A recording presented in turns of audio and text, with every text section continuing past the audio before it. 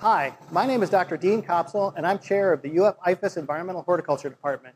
We're here today in our new state-of-the-art $2.8 million growth chamber facility to show you a little bit about the research and give you a better understanding of what a growth chamber is. For those of you who aren't aware, a growth chamber is basically a modified room which will allow our plant researchers to control the conditions on the inside in order to do their experimentation. So if you still don't understand, let's take a look inside. Growth chambers come in a variety of sizes, from the size of the refrigerator at your home to large walk-in rooms. This 8,000 square foot facility houses 15 chambers, and there are plans to add even more. Now those of you with an iPad or an iPhone at home are probably familiar with touchscreens.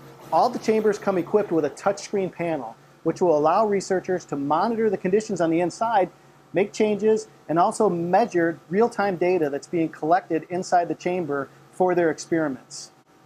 Another added feature is a peekaboo door, which will allow researchers to look at their plants and monitor their growth without actually getting inside the chamber.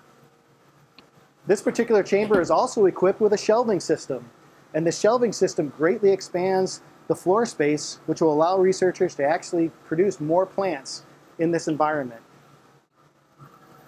We're also very excited about a couple of our chambers having the addition of CO2, Carbon dioxide is very important when we talk about how plants use it to build their biomass. And research shows that added CO2 can actually increase the growth rate of plants. CO2 is playing a big part in climate change, and understanding how elevated levels will impact these plants can have far-reaching implications. So although this chamber is the smallest in our facility, the information we gain here will be very important for future agriculture. We currently have seven of these reach-in chambers in the growth chamber facility, but we also have large walk-in rooms. We have six medium-sized rooms and two very large rooms. So let's take a look inside the medium-sized room so you can see the real benefit of growing plants indoors. In this medium-sized chamber, the floor area will allow us to fit more plants and larger plants inside. All of the chambers come equipped with LED lighting to control the type and the color of the light that we provide to plants. We can control all of the growing conditions, and this full control allows researchers to design experiments to help agricultural and horticultural producers in the state to better understand the impacts of climate on plant growth.